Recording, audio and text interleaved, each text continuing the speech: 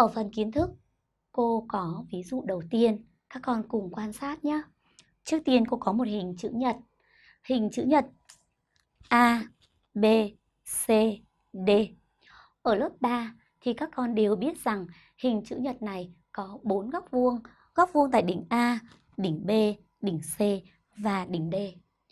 Bây giờ cô chưa có đường thẳng nào đúng không?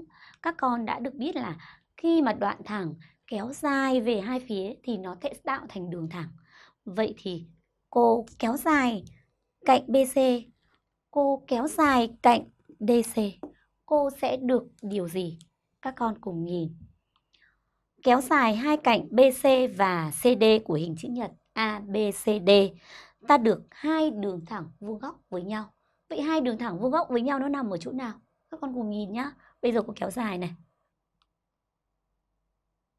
Các con đã thấy chưa? Cô kéo dài cạnh BC. Cô kéo dài cạnh DC. Hai cạnh này cắt nhau tại điểm C. Bây giờ các con sẽ thấy tại điểm C xuất hiện điều gì? Cô dùng eke để cô đo. Tại điểm C ngoài góc vuông ở bên này của hình chữ nhật rồi, chúng mình được thêm một góc vuông nữa. Và như vậy ở dưới chúng ta cũng sẽ thấy có hai góc vuông tiếp theo. Vậy hai đường thẳng BC và DC cắt nhau tại điểm C. Điểm C này tạo thành bốn góc vuông thì cô nói rằng hai đường thẳng BC và DC vuông góc với nhau.